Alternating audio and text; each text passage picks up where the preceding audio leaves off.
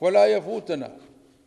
في سياق حديثنا عن أهمية التعافي الاقتصادي والبيئي أن نشير إلى وجاهة وفاعلية البرامج الحكومية لتحقيق التوازن المالي والاكتفاء الذاتي كمدخل أساسي لتنمية واستدامة مواردنا وثرواتنا الوطنية.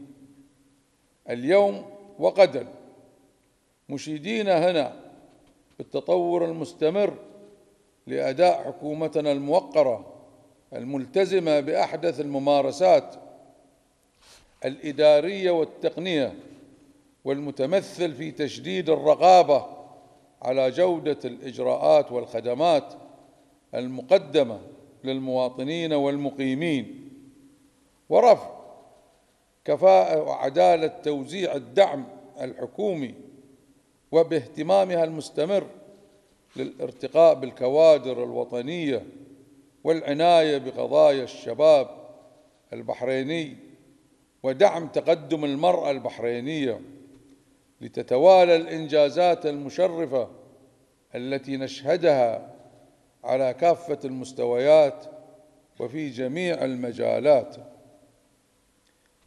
وللمرأة مكانتها الرفيعة في بلادنا ولله الحمد فهي مباركة في سعيها وعطائها ولها كل التقدير والتكريم. ونوجه هنا بالاستمرار في دعم وتطوير الخطط والبرامج التي تخصص لذلك.